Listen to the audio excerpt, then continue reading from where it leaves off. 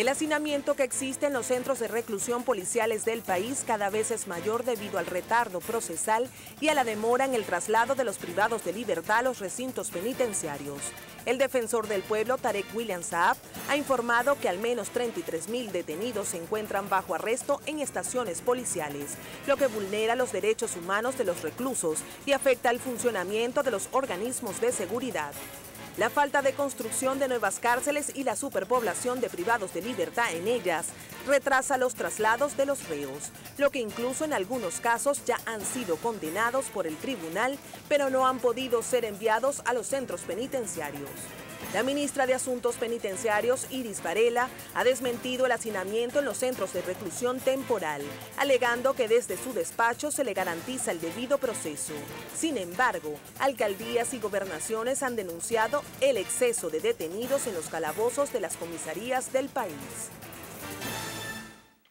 Muy buenas noches, bienvenidos a Reporte Estelar. Como escuchaban en nuestro microintroductorio, hoy estaremos hablando sobre la situación de estas cárceles donde se encuentran algunos detenidos que esperan el proceso judicial. Algunos de ellos, como decía nuestro micro, ya han sido enjuiciados, sin embargo, permanecen allí, no han sido trasladados. Dentro de las causas y las consecuencias podemos destacar violación a los derechos humanos, también tenemos, eh, pues que esto promueve también ciertos motines y situación de secuestros como por cierto, el día de hoy se ha presentado en el estado Táchira.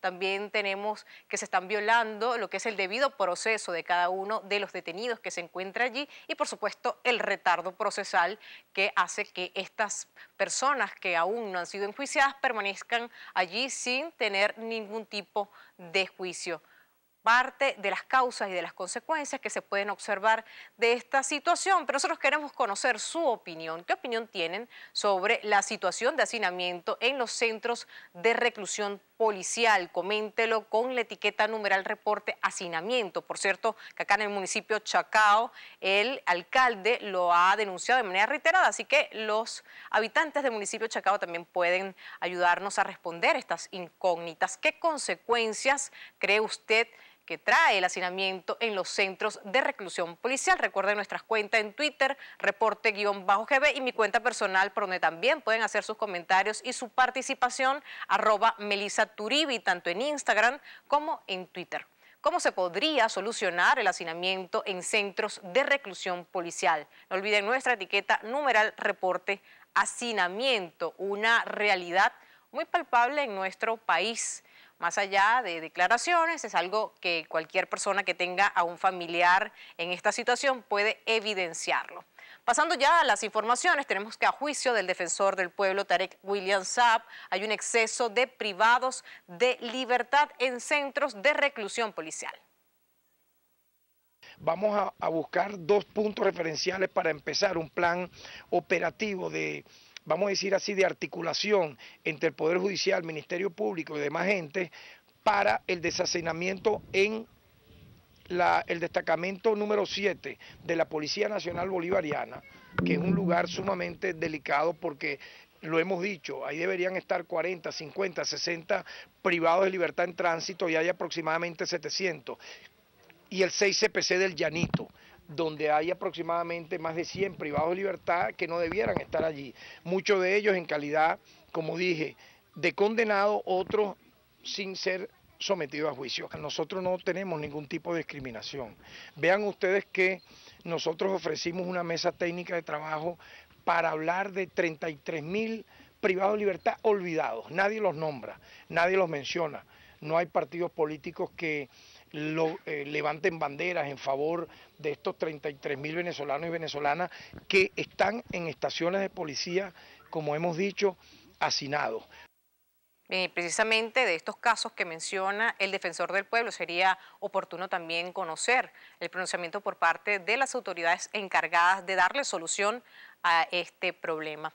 Y especialistas y organizaciones sin fines de lucro apuntan a dos factores fundamentales como los causantes del hacinamiento en los calabozos policiales.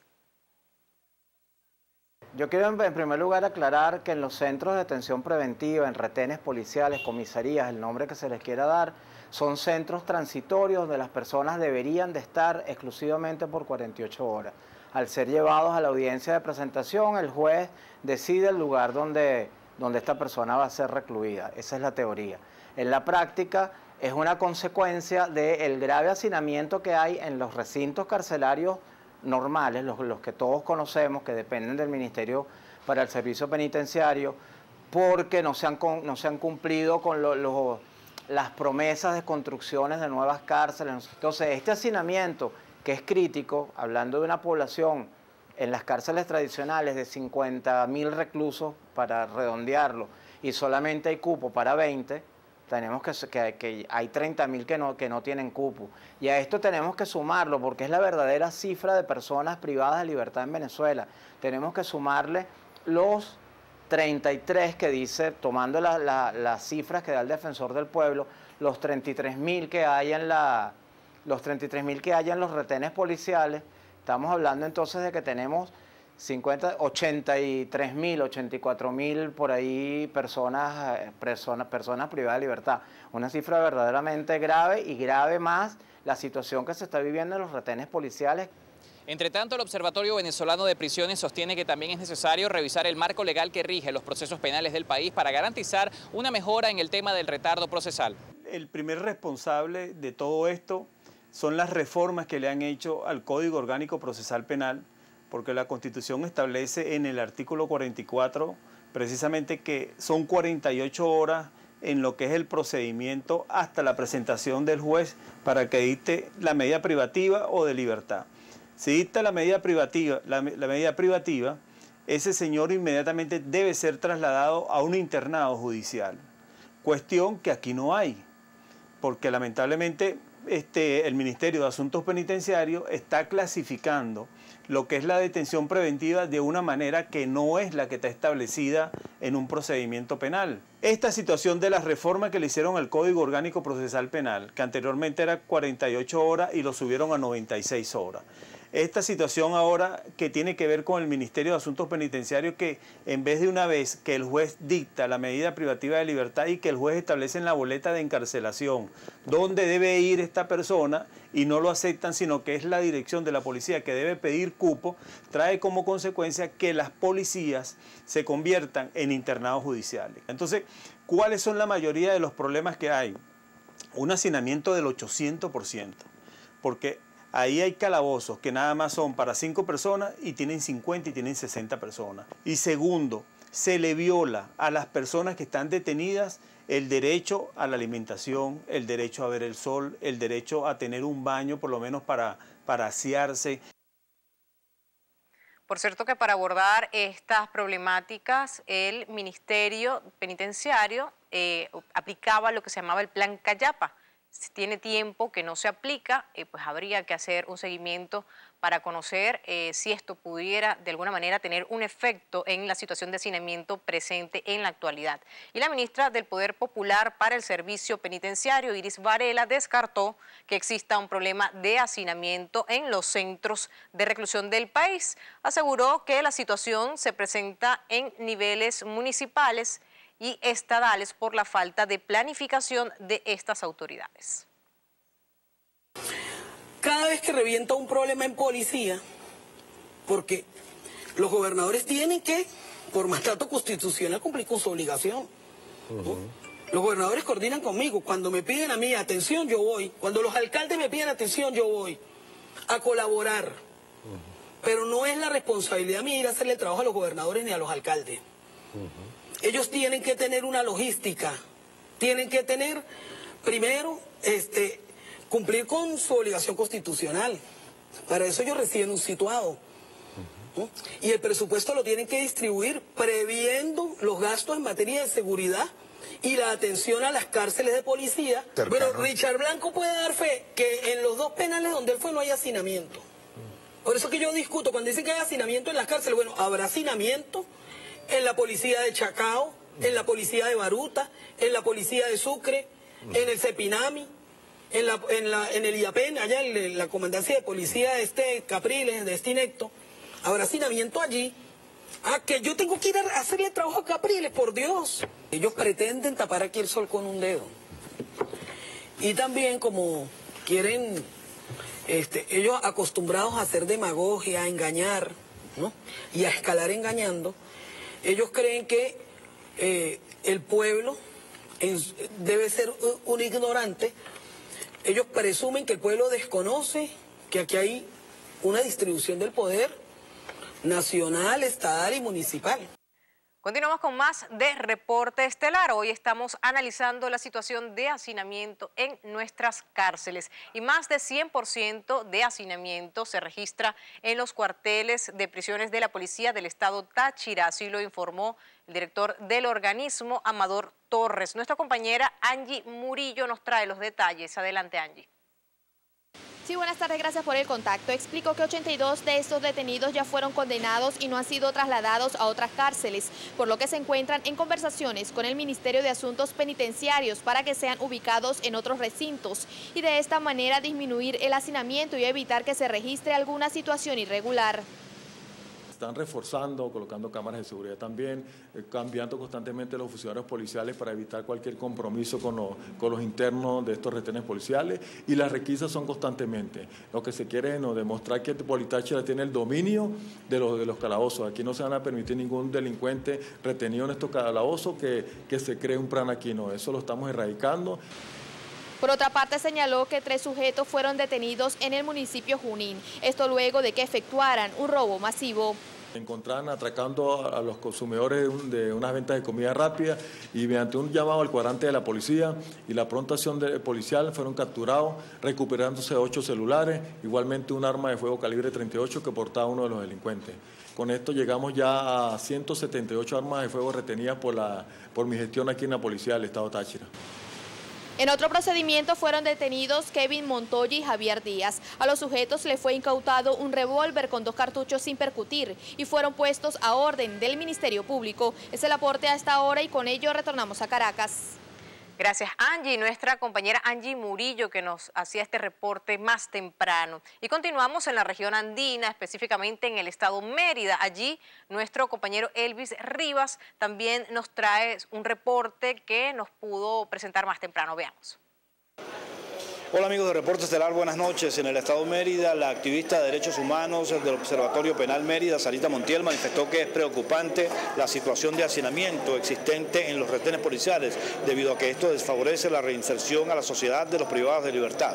Verdaderamente es terrible el hacinamiento que existe en nuestra entidad, tanto en el retén policial Glorias Patria, como es sabido por todos, ya allí eh, es urgente, es una clemencia lo que solicitan los, mm, familiares por el abuso de la violación de derechos humanos al tener a esas personas en ese estado de hacinamiento. Igualmente ahora se le suma eh, el, centro también eh, preventivo, supuestamente como lo es la policía eh, municipal, que queda frente al aeropuerto eh, de nuestra entidad, también donde ya se deja ver que ya no eh, hay más acceso para los privados de libertad. Igualmente el 6CPC, el cual es un órgano que no le corresponde mantener gente recluida en esas instalaciones y también está desbordada de eh, privados de libertad que se encuentran en el mismo. Nosotros acá en la entidad estamos esperando desde el 2014 una promesa del ciudadano gobernador donde eh, se iban a crear nuevos centros de reclusión. No sabemos qué ha este, pasado con esto. ¿Cuáles son las consecuencias del hacinamiento en los retenes penitenciarios? Mira, hay un número grande de heridos. Eh, porque se forman eh, reyertas, eh, hay problemas por la alimentación, la cual ya para llegar a estos privados de libertades de una manera humillante. Vemos con mucho estupor y, con mucho asombro cómo se presentan ahora ciertos retenes, eh, eh, centros de, reclusión, donde se está aplicando un orden militar eh, sin tener exámenes psiquiátricos, exámenes mentales, exámenes físicos, sino obligando a todos los que allí se encuentran privados de libertad a mantener un comportamiento y un orden cerrado, militarizado. Según la activista de derechos humanos, el centro penitenciario de la región andina también se encuentra en igual situación de hacinamiento. Es la información al momento y con ella retornamos a los estudios. Gracias, Elvis. Y en nuestra compañera Karina Quintero nos realizó un reportaje desde el estado Zulia para conocer cómo se encuentra la situación de los retenes en esa entidad. En el estado Zulia solo quedan los retenes de San Carlos y Cabimas, así como los comandos policiales para albergar a los ríos, luego de que en el año 2013 fuera cerrada la cárcel nacional de Sabaneta, ubicada en Maracaibo, y a principios de este año desalojado el centro de arrestos preventivos El Marite, ubicado al oeste de la capital zuliana. Según denuncias de familiares de algunos privados de libertad, esta situación ha generado colapso en los centros policiales de reclusión del estado. Durante su visita más reciente a la región zuliana, la ministra para Asuntos Penitenciarios, Iris Varela, aseguró que aún continúan los trabajos de reacondicionamiento del retén El Marite en Maracaibo. Aunque no precisó la fecha en la que se abrirá de nuevo el centro de arrestos preventivos, la ministra Varela acotó que se hará con todas las condiciones del régimen penitenciario. Según estadísticas del Observatorio Venezolano de Prisiones, para abril de este año, los comandos policiales del estado Zulia estaban en su punto máximo de albergue. Entre los municipios Maracaibo, San Francisco, La Cañada de Urdaneta y Mara, hay unas 741 personas arrestadas por distintos delitos que no fueron trasladadas a centros de arrestos preventivos. El año pasado, el Observatorio Venezolano de Prisiones reveló además que la aglomeración de reclusos en los retenes y cárceles en Venezuela era de 190% y en las comisarías de 300%. En la región aún se espera que entre en funcionamiento nuevamente el Centro de Arrestos Preventivos El Marite con el nuevo modelo de régimen penitenciario. Desde el Estado Zulia, Karina Quintero, Globo Visión. Bien, y esa es la situación en el estado Zulia, pero vamos a revisar cuál es la situación de estos retenes en la ciudad capital. Veamos. En el 2014 yo me reuní con la ministra Iris Varela y con su equipo. En ese entonces logramos algunos traslados, pero el problema no es que no se logren los traslados, el problema es que no se logran a la velocidad necesaria para mantener descongestionado el calabozo. Es decir, la velocidad a la que Polichacao practica detenciones es mayor que la velocidad a la que se nos asignan los cupos. Entonces ahí se hizo, se organizó en ese momento una callapa judicial. Ese fue el primer fruto. Vamos a decir, el primer fruto de nuestra denuncia fue que se hiciera esa callapa judicial en donde se logró liberar un poco, reducir el hacinamiento. En ese momento teníamos más de 160 detenidos. En este momento tenemos 86 detenidos en el, calabozo. les quiero recordar que venimos de más de 160 a principios de año, tenemos 86 estamos, vamos a decir, menos hacinados, pero continuamos hacinados y la capacidad de nuestro calabozo es para 40 detenidos. La Policía Municipal de Latillo, o sea, hemos crecido con detenidos. Nosotros tenemos ahorita aproximadamente más de un 250% de la capacidad de, nuestro, de nuestros calabozos. Este, tenemos personas ya con bastante tiempo este, internas y esperando traslados. Hemos tenido retraso hasta de un año, hasta de un año y medio. Hemos tenido eh, eh, personas privadas de libertad ya casi con un año o más de un año. O sea, a veces son tres meses, cuatro meses, cinco meses en el traslado de cada uno. A pesar de que todo con la parte de la consultoría jurídica se maneja insistentemente, o sea, llamamos a la parte del Ministerio Público, ellos nos apoyan, pero los traslados no llegan como tal. En este momento me da casi un 25 27% también de funcionarios adscritos nada más a lo que es custodia y traslado de detenidos. Y así eh, necesito también a veces apoyo de la parte operativa cuando, se hacen los traslados. En el caso nuestro, la Policía de Sucre, eh, la capacidad de nuestros calabozos, que se hizo una inversión hace un año importante para reestructurarlos, nuestros calabozos, que son, siguen siendo centros transitorios como lo establece la ley, su capacidad es 70 personas máximo. Sin embargo, hoy tenemos 144. Hace un mes y medio aproximadamente, casi la mitad de los que se encontraban que superaban los 200, este, eh, a través del ministerio, pues se le dio unos cupos que fueron trasladados un número importante, pero el día a día del trabajo policial pues hace que tengamos detenidos. De repente eh, se hace hoy un traslado y a lo mejor en mes y medio se hace otro, pero también puede pasar cuatro o cinco meses sin ningún tipo de traslado. Y por supuesto esto perturba todo, toda la acción. Y nosotros para trasladarlos pues tenemos que adquirir los kits, en este caso muchas veces lo ha hecho directamente la alcaldía, son unos kits específicos de vestimenta, utensilios, que se le tiene que otorgar al detenido para ser trasladado y ser recibido en los centros penitenciarios, lo contrario no te lo reciben. Y por supuesto es costoso. Por ejemplo, comprar 120 eh, esquís aproximadamente está por el orden de los 18 millones de bolívares. Y por supuesto a una alcaldía pues eh, le pega porque descuadra su presupuesto. Bien, continuamos. Y el Parlamento venezolano insiste en la necesidad de reformar el Código Orgánico Procesal Penal al tiempo que considera que es necesario unificar esfuerzos entre todos los poderes públicos. Veamos la información.